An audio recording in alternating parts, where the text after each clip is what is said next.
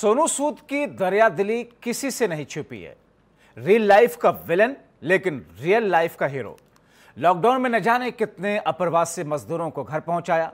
अब वाराणसी में मांझी समाज की मदद के लिए आगे आए सोनू सूद। देखिए।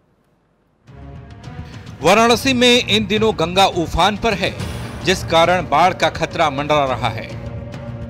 गंगा में बढ़ते जलस्तर के कारण सहायक नदियाँ भी उफान पर हैं।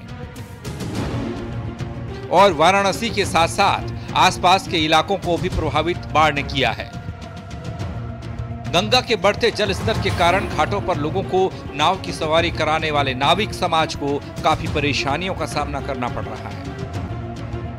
उनकी रोजी रोटी बिल्कुल ठप पड़ी है। आय का एकमात्र ज़रिया भी गंगा की लहरों के बीच था, वो भी ठप हो गया। ऐसे में काशी के प्रभावित माझी समाज के लिए सोनू सूद ने मदद के हाथ आगे बढ़ाए हैं। सोनू सूद ने ट्वीट करके ये जानकारी दी। उन्होंने काशी के माझी समाज के 350 परिवारों को मदद का भरोसा दिया।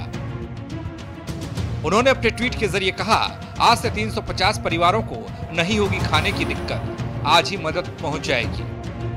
आएँगे हम लोग मगर खाना पीना ये राशन देंगे। और हम लोग को अच्छा है मंगा भी अगर होगा अच्छा है नाव बंद भी है।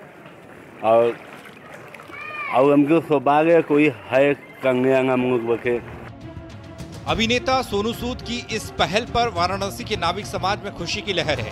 नाविकों का कहना है कि लॉकडाउन से लेकर अभिनेता सोनू सूद लगातार लोगों की मदद को सामने आ रहे हैं।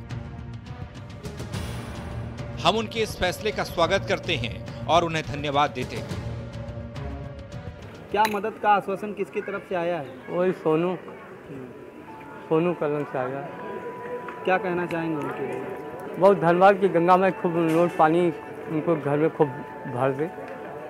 कितनी दिक्कतें हो रही घर में? अरे बहुत दिक्कत हो रहा है। क्या क्या दिक्कतें आ रही जरा बताओ। अरे हर चीज़ में दिक्कत है गैस नहीं है तो खाना पीना का हर चीज़ की परेशानी है।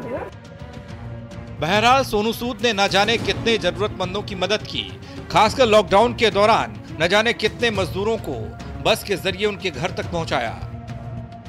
सोनू सूद, गरीबों, असहायों और जरूरतमंदों की मदद के लिए हर बार आगे बढ़कर आते रहे हैं और मदद करते रहे हैं।